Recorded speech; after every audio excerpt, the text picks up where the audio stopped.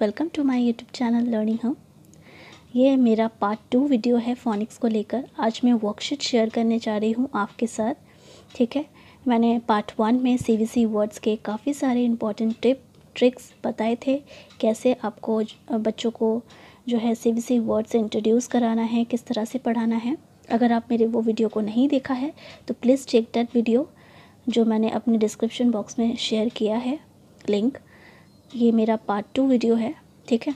और आप वो वीडियो को देखने के बाद ये वर्कशीट को आसानी से करा सकते हैं। आज का मेरा ये फ़ोनिक वीडियो वर्कशीट से रिलेटेड मैंने ऐसे दस इंपॉर्टेंट टाइप्स बताए हैं, बताने वाली हूँ इस वीडियो में, जिससे आप आसानी से अपने बच्चों को प्रैक्टिस ले सकती हैं सी बी सी वर्ड से रिलेटेड ओके तो चलिए वीडियो को शुरू करते हैं। सबसे पहले स्टार्ट करते हैं टाइप वन टाइप वन में आप बच्चों को बिगनिंग साउंड जो है आइडेंटिफाई करने के लिए दीजिए, क्योंकि वो शॉर्ट वोवल साउंड से अच्छी तरह से वो समझ जाएगा और ऑब्जेक्ट का नाम से ही वो समझ जाएगा कि इसकी बिगनिंग साउंड क्या है। जैसे बलून बलून से उसका बिगनिंग साउंड क्या है? ब है तो वो ब लिखेगा। ड्रम ड्रम का बिगनिंग साउंड ड होता है तो ये बच्चा डी लिखेगा। उसी तरह से जग का बिगनिंग साउंड ज है जे है तो जे लिखेगा। उसी तरह से लैम्प लैम्प का बिगनिंग साउंड ल है तो बच्चा एल लिखेगा। इसी तरह से आप बिगनिंग साउंड सबसे पहले दीजिए उसे। देखिए type number two type number two में आप बच्चों को एंडिंग साउंड को आइडेंटिफाई करने के लिए देंगे। अब देखिए, जैसे ये ऑब्जेक्ट का नाम पॉट है। पॉट तो पॉट के लिए तीन साउंड की ज़रूरत है। ऑलरेडी प, अ लगा हुआ है। तो क्या साउंड मिसिंग है? ट। प, अ, ट, पॉट। तो ये ट साउंड जो है, ये टी लगाना है। ठीक है? तो बच्चा यहाँ टी लगाएगा। उसी तरह से सन सन के लिए तीन साउंड की ज़रूरत है।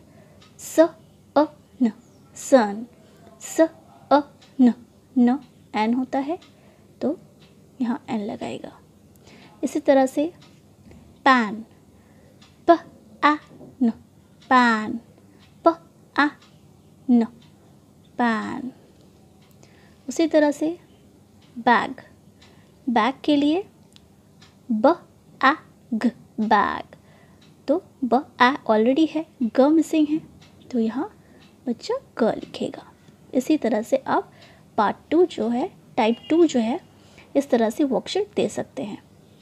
अब टाइप थ्री में आप बच्चों को आइडेंटिफाई करने के लिए दीजिए एक वॉवल और एक कॉन्सोनेंट जैसे आप बिगनिंग के साउंड जो है दे देंगे और बाकी के जो वॉवल और कॉन्सोनेंट साउंड है बच्चा वो मिसिंग साउंड को आइडेंटिफाई करेगा ऑब्जेक्ट को देखकर। जैसे फ़ैन फ़ैन फ़ैन का जो वर्ड uh, का जो स्पेलिंग होगा वो कैसे होगा? फ आ न फ़ैन तो यहाँ फ ऑलरेडी है तो क्या मिसिंग है? ए न एन फ़ैन ठीक है? उसी तरह से लिप के लिए भी ल ल है तो और कौन से दो साउंड मिसिंग है? लिप ल ई प लिप ल ई प लिप उसी तरह से हट हट का ह साउंड ऑलरेडी है और ट मिसिंग है अ ट ह अ ट हट उसी तरह से ये बिब है तो बिब का बिगनिंग साउंड ब ऑलरेडी दिया है। बि बिब बी ई ब तो ब ई ब तो ब ई ब बिब उसी तरह से टेन टेन का ट साउंड जो है ऑलरेडी है तो क्या मिसिंग है ए न ट ए न। टेन।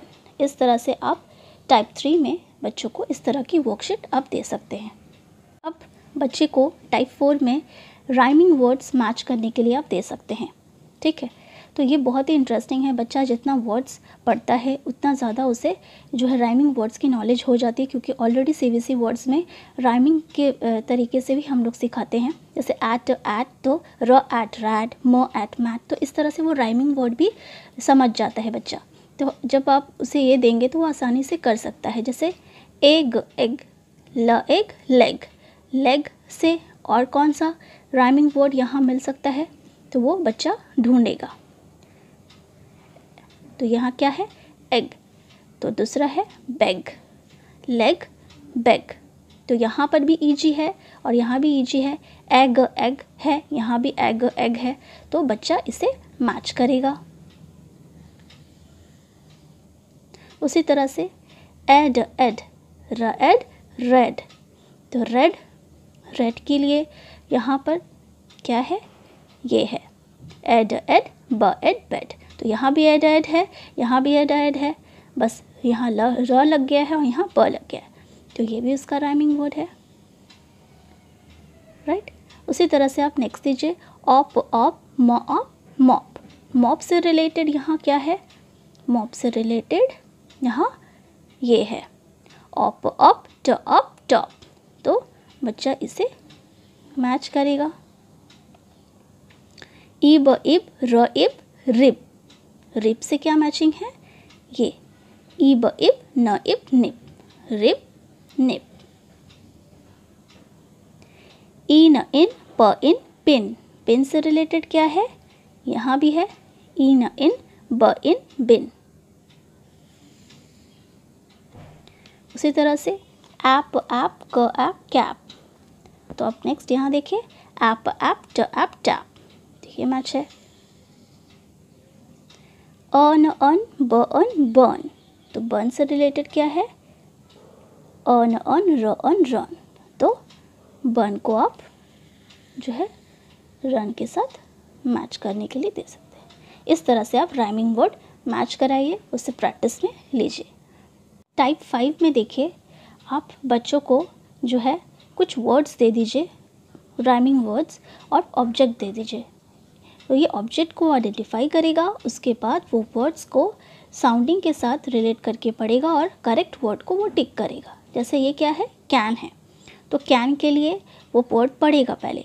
प, आ, नो पैन क्या ये पैन है? नो ट, आ, नो टैन क्या ये टैन है? नो क, आ, नो कैन कैन है? यस तो बच्चा इसे फिर टिक करेगा। इस तरह से आप दे सकते हैं। जैसे इस तरह से, ट आग, टैग। क्या ये टैग है? नो ब आग, बैग। बैग है? यस तो वह यहाँ टिक करेगा। उसी तरह से, ई, ब, इब ब, इब, बिब, ऐसे भी पढ़ सकता है, या तो ब ई ब, बिब। क्या ये बिब है? नो र, ई, ब, रिब। रिब है? नो न, ई, ब, निब। निब है? यस उसी तरह से ऑग ऑग फ ऑग फॉक इस तरह से भी पढ़ सकता है बच्चा और इंडिविजुअली साउंडिंग लेकर भी पढ़ सकता है।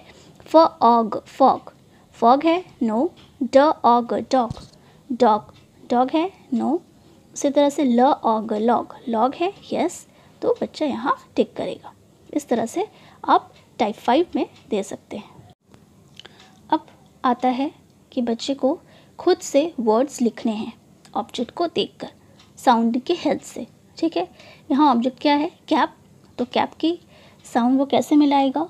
कैप क आ प कैप क आ प कैप ये क्या है? टॉप टॉप की साउंडिंग क्या होगी? ट अ प टॉप ट अ प टॉप उसी तरह से ये ऑब्जेक्ट क्या है? मैट मैट म आ ट. मैट म आ ट. मैट उसी तरह से ये क्या है? बग ब अ ग बग ब अ ग बग उसी तरह से ये क्या है? पॉट प अ पॉट। इस तरह से बच्चा साउंड के हेल्प से जो है ऑब्जेक्ट को देखकर ही वर्ड्स के नेम जो है लिख सकता है। ठीक है? ऑब्जेक्ट के नेम लिखना आसान हो जाता है। अब टाइप सेवन में आपको क्या करना है? यहाँ कुछ इमेजेस बनाने हैं और साथ में आपको ऐसे वर्ड्स लिखने हैं कि जो वावल है वो अलग हो, बाकी सब सेम हो। मतलब यहाँ दोनों कॉन्सनेंट और यहाँ के भी दोनों कॉन्सनेंट सेम है, बस वावल साउंड जो है अलग अलग है। गया इससे क्या होगा, बच्चों को वावल साउंड पर पकड़ अच्छी होगी। उसे समझ में आएगा कि किस तरह से दो सेम कॉन्सनेंट के साथ अगर वावल साउंड चेंज हो जाए तो वर्ड्स ही पूरा चेंज हो जाता है। जैसे यहाँ पर क, आ, ट तो यहाँ क और ट के बीच आ साउंड है तो ये कैट हो गया। उसी तरह से क और ट के बीच अ साउंड है तो कट हो गया। तो यहाँ एक वावल साउंड कितना मायने रखता है और कितना इम्पोर्टेंस है, ये बच्चा अच्छे से समझ पाएगा। इसके लिए आप इस तरह की भी एक्टिविटी बच्चों को दीजिए। ठीक है? तो इस तरह से वो साउंडिंग के हेल्प से बच्चा जो है देखेगा कि ये तो सेम सेम लग रहा है बट इसका साउंडिंग जो है अलग है। यहाँ क्या है? कैट कैट है तो ये कैट होगा तो राइट वर्ड क्या है? ये है। म अप मॉप म आप मैप तो ये क्या है? मॉप है या मैप है? मॉप है। तो मॉप को टिक करेगा बच्चा। ठीक है? उसी तरह से ट एन टैन, ट ए न, टेन। तो टैन होगा या टेन होगा? टेन होगा। राइट? उसी तरह से ज अग, जग, ज अग, जग। तो जग होगा या जॉग होगा? तो ये साउंड है, जग होगा, जॉग नहीं होगा। उसी तरह से यहाँ देखिए, प एन पैन, प एन पेन, पैन, पेन। कौन सा है? पेन है। ए साउंड से ए नहीं।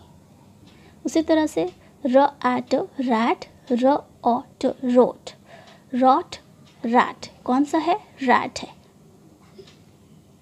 क एब कैब क अब कॉब। कॉब है या कैब है? कैब है। ठीक है। तो इस तरह से क्या होगा?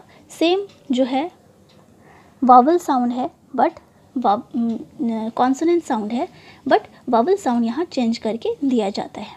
तो इस तरह से आप इस बच्चों को ले सकते हैं। बहुत ही अच्छा प्रैक्टिस होगा। बच्चा अच्छा से वावल साउंड की पकड़ जो है सीख पाएगा। अब आता है टाइप एट टाइप एट में आप क्या कीजिए? वावल साउंड को मिस कर दीजिए और कॉन्सोनेंट साउंड आप दे दीजिए।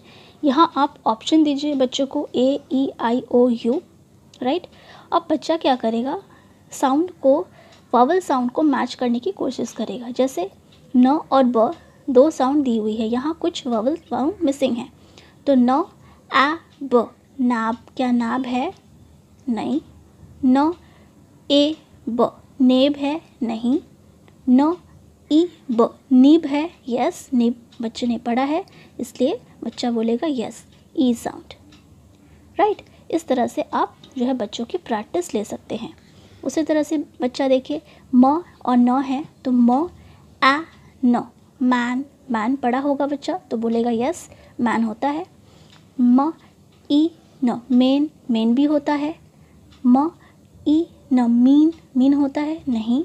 म, अ, न, मौन मौन होता है, नहीं। म, यू, म, अ, न, मौन नहीं होता। तो बच्चा ए के लिए और ई के लिए भी बोलेगा। तो या तो ए लिख सकता है, या तो ई लिख सकता है। ठीक है? उसी तरह से साउंडिंग जो है, मिलाकर वो कर सकता है। या तो आप ऐसा भी कर सकते हैं कि बच्चों को इस तरह से जो है, दो वावल साउंड की जो है चॉइस दे सकते हैं। या तो ए दे सकते हैं तो ओ दे सकते हैं। इससे बच्चा थोड़ा आसानी से पहले स्टार्टिंग फ़ेज़ में आप पहले दो ही दीजिए या तीन ऑप्शन दीजिए, या तो आप पूरे पाँच ऑप्शन भी दे सकते हैं, बच्चे के कन्वीनियंट के अकॉर्डिंग ठीक है? जैसे न, आ, ब। क्या होगा? तो यहाँ पर आप एक और साउंड मैं दे देती हूँ। तो यहाँ तीन साउंडे हैं, तीन साउंड को मिला के बच्चों को रिकॉर्ड करना है। न एब नाप नहीं होता। न ईब नीब नीब होता है। ठीक है? तो वो ई जो है ई के ई साउंड के लिए आई को यूज़ कर सकता है। तो इस तरह से आप चॉइस देकर कर सकते हैं। या तो दो या तो तीन या तो चार जैसा बच्चा आ, कर सके। ठीक है? तो बाकी के साउंडिंग भी आप ऐसे ही आप करवाएँगे। अब टाइप नाइन में क्या है कि आपको राइमिंग वर्ड्स बच्चों को लिखवाना है। ठीक है? तो जैसे अग अग ब अग बग। तो बग से रिलेटेड और क्या राइमिंग वर्ड हो सकता है? रग, र, अग, रग। ठीक है? उसी तरह से और क्या हो सकता है? ज, अग, जग। इस तरह से बच्चों को राइमिंग वर्ड्स भी लिखने के लिए इंकरेज कर सकते हैं सीबीसी वर्ड के हेल्प से। ठीक है? ज एम जैम तो क्या और हो सकता है? र एम राम राइट य एम याम या ड, एम, डैम भी हो सकता है। ब, अन बर्न र, अन, रन, स, अन, सन। ऑप ऑप ह ऑप हॉप। हॉप, ट ऑप टॉप, राइट? क ऑप कॉप। इस तरह से भी दे सकते हैं। ल, ईड, लीड, राइट? ह, ईड, हेड। इस तरह से आप दे सकते या तो ये लिख सकता है क इड किड इस तरह से जो है बच्चा राइमिंग वर्ड्स कंप्लीट कर सकता है इन टाइप नाइन अब देखिए टाइप नंबर टेन ये मेरा आखिरी टाइप्स का वर्कशीट है। इसमें आप क्या कर सकते हैं, बच्चों को कॉन्सोनेंट साउंड को जो है आइडेंटिफाई करने के लिए दे सकते हैं। या हो सकता है कि वो एंडिंग कॉन्सोनेंट साउंड हो या तो वो बिगनिंग कॉन्सोनेंट साउंड हो। जैसे देखिए, फ, ए, फे फे के साथ और कौन सा साउंड लगाएँगे तो क्या वर्ड बन सकता है? फेड राइट तो बच्चा जो है, ड लिख सकता है। उसी तरह से ल, आ, ला ला के साथ क्या साउंड लगाएँगे तो क्या बन सकता है? ला, प, लाप, लाग लाग। तो बच्चा प भी लिख सकता है और ग भी लिख सकता है। उसी तरह से बिगनिंग साउंड मिसिंग है यहाँ।